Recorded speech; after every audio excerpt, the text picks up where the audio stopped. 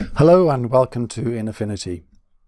Sometimes we want to adjust just um, colors based on the saturated thing. So we want to have, have do an adjustment where there's more adjustment uh, applied to solid uh, or if you like more saturated colors and then less and less as it fades off whether to black, whether to white or whether to grey or something in between. So to create the mask we want to get rid of all these uh, fades here. We want them all to, to fade off to black because we want to keep the solid colors and turn those into white. So the way we do this um, is we start off here, uh, we put in a HSL layer and what we're going to do here is we can click on the HSV, that's the trick in this. We turn this all the way down and now this goes to white, not to grey as it would do if it was not checked. And then we go for the blend mode of difference. There we go, difference. And look what that does. That gets rid of all the tones because we want the tones to be not selected. We want just colours to be selected. And they're all fading off there to black. And to make it a mask, we want this to be black and white. So we can do this again. Uh, we go to HSL and we're going to turn down the saturation, but it only goes to grey with HSL, but if we click the HSV, it now goes all the way to white. So, and we can then turn this, this becomes our mask, and we can use this uh, to mask and control other effects. So let's try one. Here we've got a picture, we've got um, things like the reds here are are quite well saturated, so we want to have more of an effect selecting those. The greens are sort of partly saturated, so we'll, you know, this grass should end up grey, this should end up white, and up here we'll have a little bit of an effect. They're not going to completely disappear because they have got some colour in them.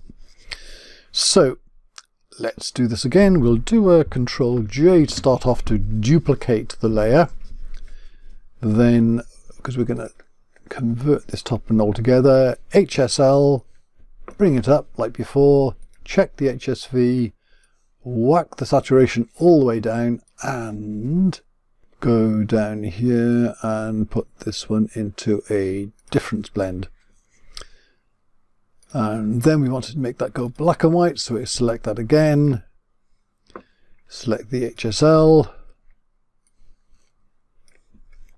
we are going to turn down the saturation and click the HSV to make it fill up the thing from white to black. So now we've got this. Uh, let's turn that into a single layer. So we'll just go layer merge visible, which will turn that into a layer up here. So this layer now we can just delete. We don't need that. This layer gives our mask, well, we'll turn it into a mask, and there's the original layer underneath it. So to turn it into a mask, we just go Layer, Rasterize to Mask. There we go, and we want to have a curves in this now. Say, well, whatever adjustment you want. So, but if I from here put in curves, it sort of appears as a child of that mask. So I want it the other way around. So I'm going to drag that up to that drag the masks up here so the vertical little blue bar up there so now we've got the mask controlling the curves bring up the curves here now when we turn this up and down we're going to affect the things it has quite a subtle effect so you can make you know go quite a long way with this if I turn it all the way up see how having a greater effect on the saturated areas so that the things which are red go almost to white. See those trousers there? And this is a quick way of doing a fairly sort of high key effect.